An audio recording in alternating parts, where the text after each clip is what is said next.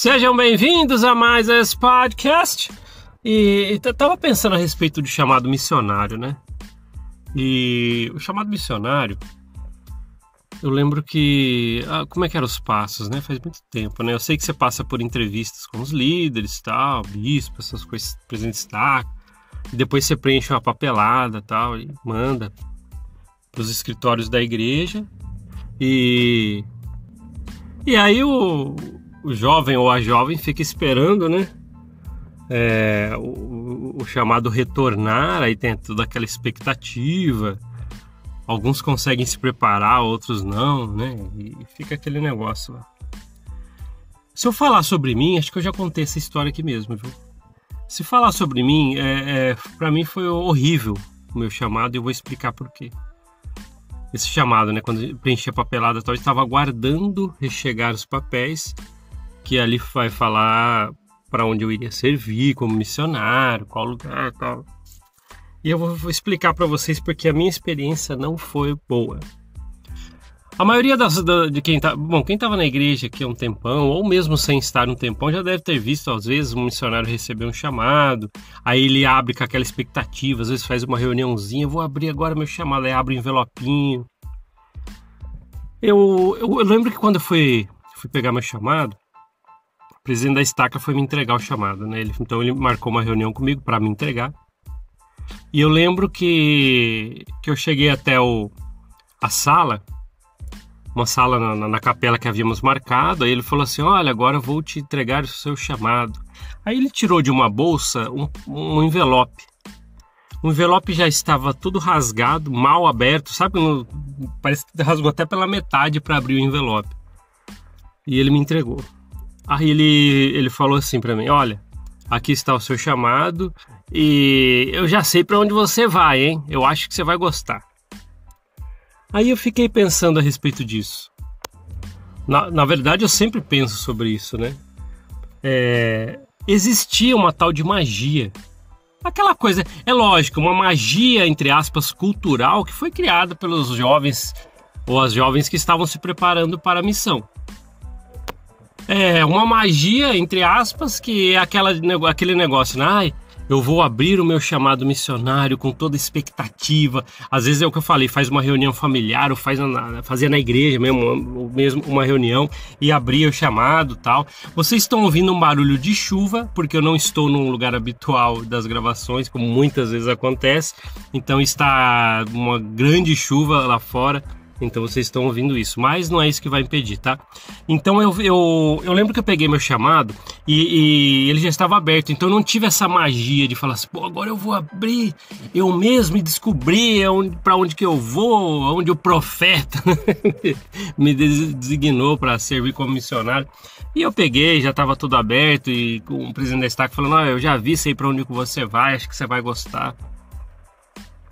E aí que eu tô daquela inocência, né, de rapaz, naquela época sem boca para nada, né? E ai, tá bom, que legal. Aí eu olhei já, tudo aberto. E eu fico pensando nisso, sabe? Para mim não foi uma boa experiência o chamado. Tem gente que gosta, pô, foi muito emocionante, que quando eu abri, tava lá e não sei o que tem, o lugar que eu ia, ali para todo mundo, uma expectativa. E infelizmente para mim foi uma canalice. Eu tenho, eu eu acho que eu contei sim essa história porque eu lembro a, a outra vez que eu contei sobre ela em algum podcast aí para trás que eu nunca vou lembrar acho que é onde, qual episódio que foi. Mas é, é, eu até falei no podcast, olha, você presidente da Estaca, que eu sei que me ouve aqui, você não é mais presidente da Estaca, mas na época, né, você que me ouve aqui, lembra que me deu o chamado aberto, eu quero que você saiba Desculpem, tá? Eu não consigo usar outra palavra. Eu, sa... eu quero que você saiba que você é um canalha. Porque to, toda a expectativa que um jovem ou uma jovem tenha, assim, a parte mais legalzinha do negócio, né? Pô, expectativa, pô, eu vou abrir. Tem gente, tem gente que não, já gosta de abrir reservado, mas a pessoa que está abrindo, né? O futuro missionário ou missionária que vai abrir ali o chamado. E já estava aberto, eu sei lá.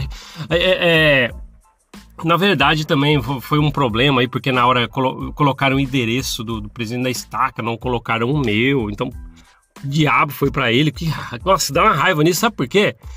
Porque eu também estava naquela expectativa quando tô, como todo rapaz e moça estavam, né? nesse, nesses períodos aí em que você aguarda.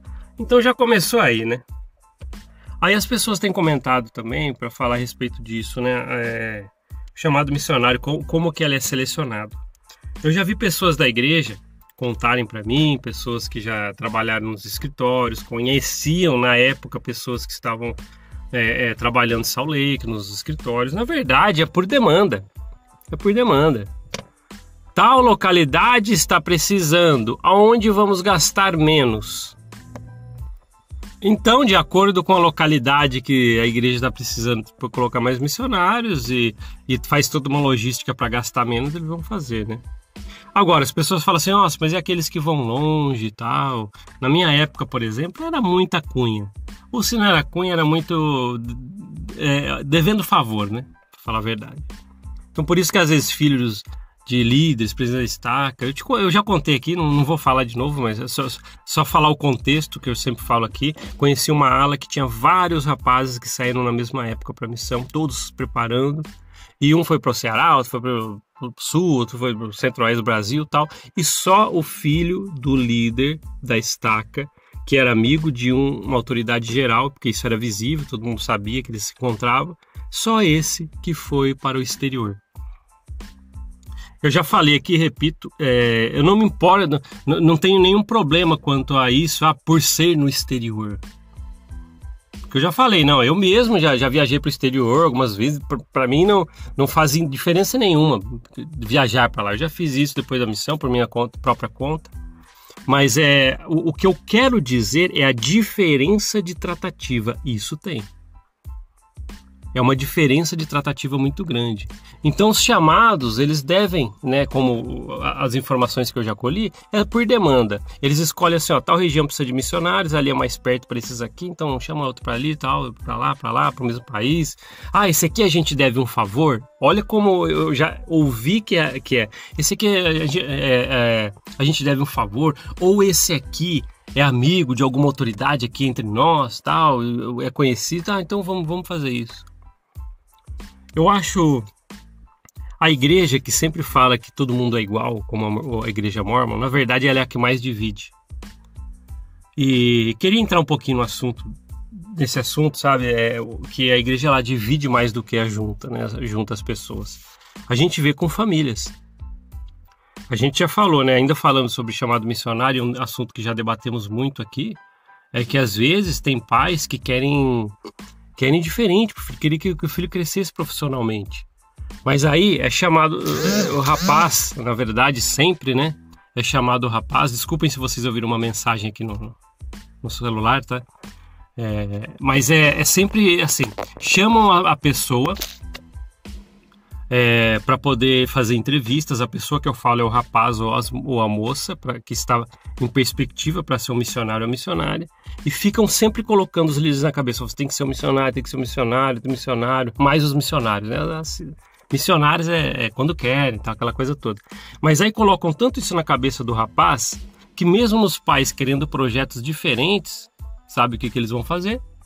Eles vão simplesmente deixar é, é, é para lá, tipo assim, o, o, líder não vai ajudar nada na família, se está causando contendas, e a família vai ficar discutindo em casa, porque os filhos é, é, querem para missão, porque os líderes coagem isso, falando com a coerção, coerção, coerção, Lá na casa eles brigam com os pais, que alguns eu já conheci, e é verdade, viu?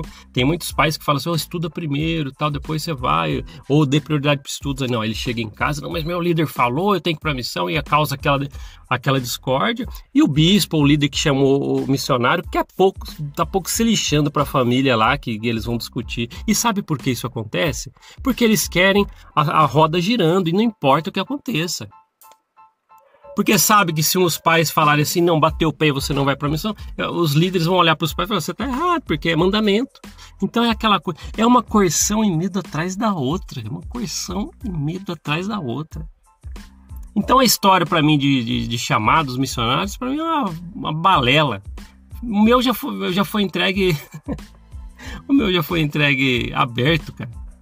O chamado já estava todo aberto, mal aberto ainda. Até uns tempos atrás aí tava todo mundo guarda isso aí, né? nem sei onde tá, vou jogar fora com a porcaria de tanto que, que eu lembro disso aí fico com raiva. É isso. É isso. Chama, missão sobre os, os missionários missionários chamados por demanda. Ah, ali está precisando ou não. E se tem mais, ou, ou, ou se tem algum que mandou um chamado, que é filho de algum líder, algum vínculo que tem como autoridade ali, que já tem um recadinho, já tem um recadinho lá nos escritórios da igreja. Né? Vezes, por isso que eu falo que às vezes tá devendo um favor, ou a autoridade veio, pagou um almoço, tal, ah, um dia meu filho. E eu já vi casos, é, é, ouvi também de pessoas falando assim, ó, tal pessoa, quando veio uma autoridade aqui numa conferência, chamou para almoçar e falou no pé do ouvido, ó, quando meu filho for para missão, dá um jeitinho lá, tal, para ele ir para um lugar bacana. E isso aconteceu. Então, isso tem. Então, para mim, é, eu não vou falar que é corrupção, porque não envolve dinheiro e tal, mas é um certo tipo de corrupção de dados ali internos, né? De chamado, porque. Para pra pensar. É complicado isso aí. A gente fala aqui, as pessoas falam assim: olha o revoltadinho da internet. Pô, eu queria que fosse. Porque as coisas talvez não seriam tão fortes e amargas dentro da gente por coisa que a gente viveu lá. E eu já falei, eu não acordei num dia é, é, ensolarado e falei, pô, agora eu vou montar o podcast e meter o pau na igreja. Eu não faço isso. É que a, o raio da carapuça serve. Aí um monte de canalha que eu trago a história aqui também serve a carapuça para eles. Esses dias me perguntaram de novo: Oi, e aí? Alguém que, que dá a entender que você fala, porque às vezes eu falo das pessoas sem falar nome, nomes, e eu conheço líderes, conheço pessoas próximos, assim, que às vezes quando eu falo a experiência, a pessoa já está ouvindo o podcast e fala, esse falou de mim. Então as pessoas às vezes falam assim, ó, você recebe alguma coerção, alguma, alguma ameaça, tal, não. Porque eu não tenho canalha de estimação e eu estou na minha razão.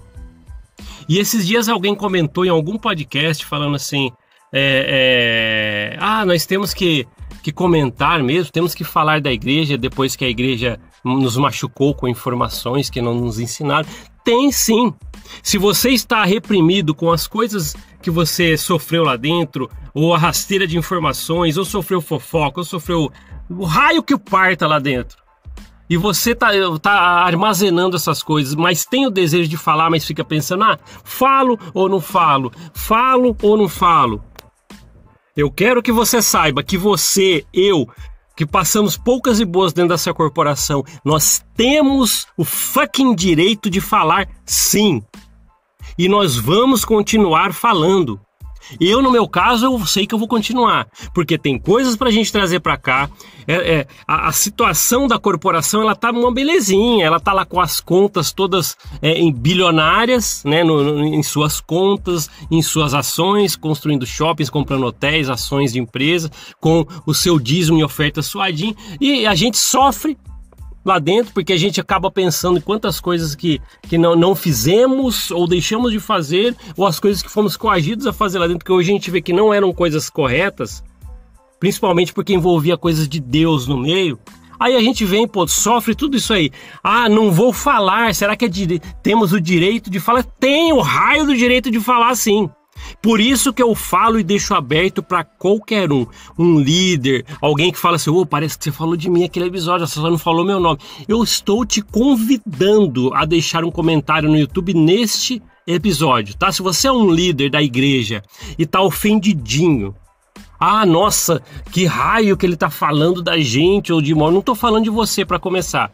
E não, e não tô querendo falar em si, não, tô falando de uma corporação que foi fundada por um canalha lá atrás e que vende tudo isso. Vem, vem, vem, vem até chegar nisso.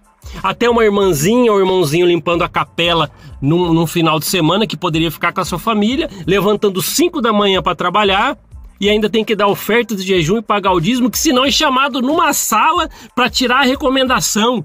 E se você faltou algum dízimo em algum mês, vão te chamar no acerto anual do dízimo e falar assim, ó, aquele mês você tem que pagar, senão dá a recomendaçãozinha aqui e tralalá, e você fica todo triste, mexe com o emocional, mexe com a autoestima, e eles não entendem raio de nada de, de, autoestima ou de emocional de ninguém. Eles só dilaceram o emocional das pessoas sem saber como que, que conduz essas coisas. Aí você passa tudo isso lá dentro. Ai, mas eu não posso falar agora. Agora que eu não tô mais lá, eu não posso pôr para Pode pôr para fora sim, e você deve fazer isso você você, você tiver sentindo o que tem que fazer. Ah, mas como que eu faço isso? Preciso montar um podcast? Não.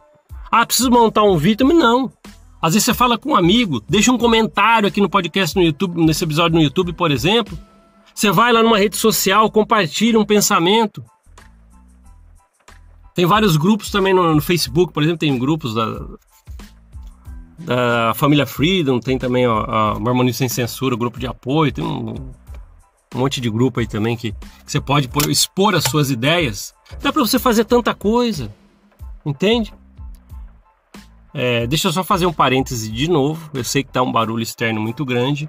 É chuva que tá lá fora, tá, um monte de coisa, barulhos externos, mas eu não tenho como impedir isso e não vou, não ia de forma alguma deixar de vir falar com vocês aqui hoje, tá? Mas é isso, eu quis começar falando do chamado missionário para ver muitas falcatruas que tem, muitas coisas que fizeram no meu caso também que eu não gostei, me entregaram meu chamado aberto, já sabia onde eu ia servir e tal. E que raio! Tiraram até isso de mim.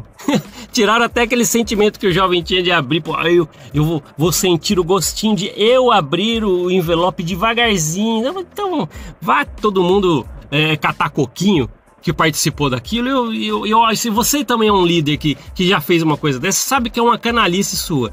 O cara, o cara, né? É, o missionário ou a moça o cara já vai lá trabalhar dois anos, né? No caso dos missionários, e vocês ainda fazendo isso, no meu caso, pô, de entregar o chamado aberto. E eu sei que esse que foi presidente de estaca me ouve aqui. Sinto muito, mas o que você fez comigo foi uma canalice. É ou não é? Mas e você? Quando chegou seu chamado missionário, como é que foi? É, conta no, nos comentários no YouTube se, se entregaram para você pelo menos certinho, né? Se chegou certinho no seu, no seu endereço, porque para mim foi meu presidente de destaque, ele abriu. Como é que foi? Você gostou do lugar que você foi servir como missionário? Conta como que foi, tá? E a chuva tá apertando cada vez mais, talvez vocês estão ouvindo esses ruídos aí, não tem muito o que fazer. Mas eu queria que vocês soubessem uma coisa. Não foi legal a experiência para mim do chamado. Aí lá, chegando lá, lógico, a gente se vira, conhece pessoas e tal. E aí pega dengue, no meu caso peguei duas vezes. Nossa, é, é um raio que o parto. Falei já da, da, experiência que a gente passou fome, tinha dinheiro para nada, aquela precariedade. E quanto mais sofrer, né? Sof, quanto mais so, sofrer, melhor, porque aí as bênçãos vão ser, vão ser maiores. Olha só o que embutem na cabeça das pessoas dos missionários e das missionárias. É isso. É complicado, é complicado, mas isso tem dentro dessa corporação. A gente precisava falar sobre isso. Fiquei pensando o dia inteiro sobre isso para falar para vocês sobre o chamado missionário. Como, como que é selecionado os chamados. Aí as pessoas falam assim: nossa, veio assinado pelo próprio profeta, ó, a tinta da caneta tá até tá visível aqui que realmente ele assinou.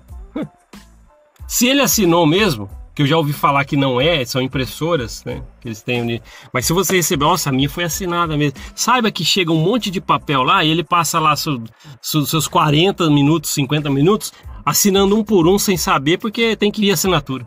Provavelmente também. Tá vendo como é que é? E é isso. Se você não gostou, às vezes, do lugar que você foi servir como missionário, infelizmente, às vezes você não tinha uma cunha lá dentro, você não, seus pais não estavam devendo favor para ninguém lá dentro e, e, você não serviu um almoço para a autoridade geral, por exemplo, para ele, ele lembrar de você e deixar um recadinho lá nos escritórios da igreja. Ó, quando for esse sobrenome dessa família, você dá um jeitinho de jogar ele num lugar legal.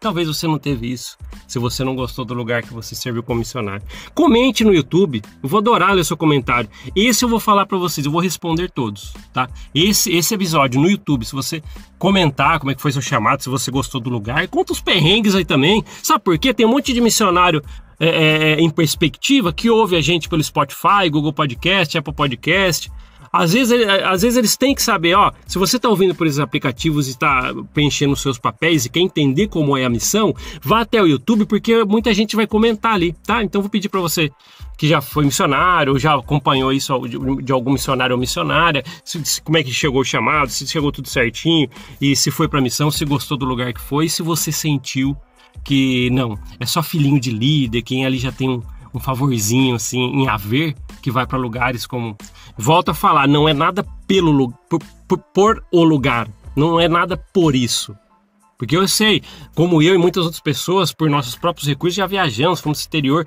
mas é, eu volto a falar, é sobre o diferen a diferença de tratamento que tem dentro disso. Né? Fica rolando ali uma corrupção de informações para isso. Então, missionários atendem a demanda, tais, tais regiões estão precisando, e alguns ali vão um pouco mais lugares privilegiados, porque é, são amiguinhos, não é verdade?